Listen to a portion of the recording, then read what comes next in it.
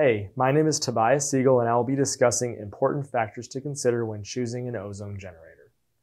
When choosing your generator, first you will need an ozone generator that requires an external oxygen source. This oxygen source can either be an oxygen tank or oxygen concentrator. One thing to note is that oxygen tanks are able to provide a higher oxygen concentration. The next thing to know about ozone generators is the range of ozone and their output charts. Ozone is measured based on concentrations. This concentration is measured in micrograms per milliliter, also termed gamma. This is the most common measurement used with ozone therapy generators.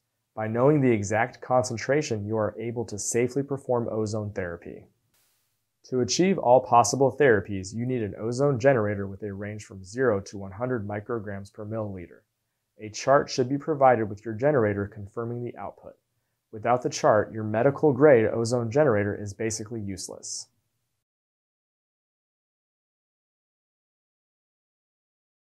The generator must also be made with medical grade, chemically inert components to ensure the high purity needed for ozone therapy.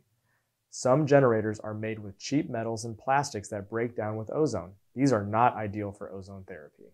When purchasing a generator, it is also great to find a company that offers great technical support and warranty. Promolife meets all these requirements and we offer unlimited free technical support and a lifetime warranty. At Promolife, we recommend that you have your O3 Elite ozone generator calibrated every two years with regular use.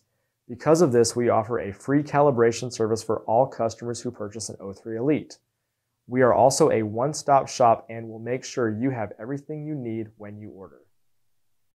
If you require any other assistance on picking out the right ozone generator, please call 888 742 3404 or view our other videos about our O3 Elite Ozone generator.